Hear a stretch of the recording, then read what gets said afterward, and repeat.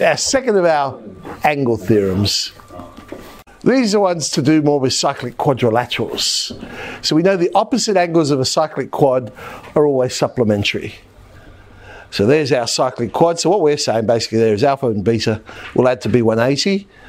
Um, let's prove it.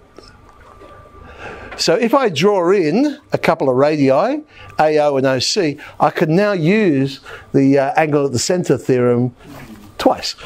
So I can say, well, look, I know angle AOC would be twice alpha, but then if I look at it going the other way using the major arc, then AOC reflex, and so that's how I tend to label the major one, because if you think about it, you're going to have one reflex angle and one either obtuse or acute, unless of course they're both semicircles. Uh, so 2 beta. Well, we know that those two angles must add together to give 360. It's a revolution. They're going around a point. So if 2 alpha plus 2 beta is 360, 1 alpha plus 1 beta must be 180. So that's proving our cyclic quad result. Then there's this little one which people so often forget, and it can save a lot of time. Similar to, I guess, the exterior angle of a triangle. People forget to use that one as well. Um, what it's basically saying is the exterior angle of any cyclic quad is equal to the opposite interior angle. So in our diagram, DCX would be the same as BAD.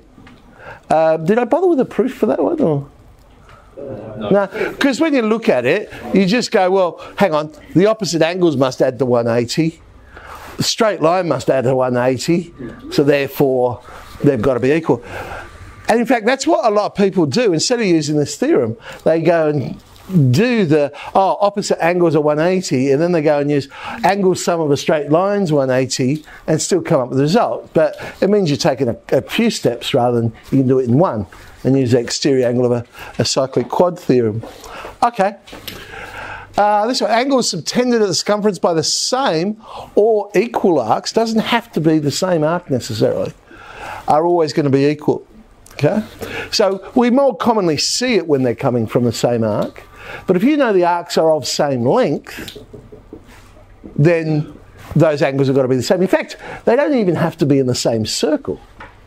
They could be in different circles. If you know they're equal circles, the radii are the same, and the arcs are the same length, then those angles have got to be the same. So if you got that situation, you could say angles subtended by equal arcs in equal circles, if you happen to have two circles.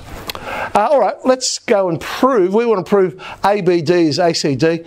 It's a mouthful writing all that, so we tend to just write angles in the same segment. Because if you use the chord instead of the arc, we're breaking up the circle into two segments. And we're saying they're subtended in the same segment. They're not going in opposite ones. So we can say, well, angles in the same segment are equal. So ABD, ACD. And again, I'm going to use our angle at the centre idea. If I join up AO and DO, I can say, well, AOD is going to be twice ABD, angle at the centre twice, and so on. But I can also say AOD is twice ACD. Same reason. Well, therefore, ABD and ACD must be the same. So there's, there's the proof for that one. Watch out for when they're not in the same segment.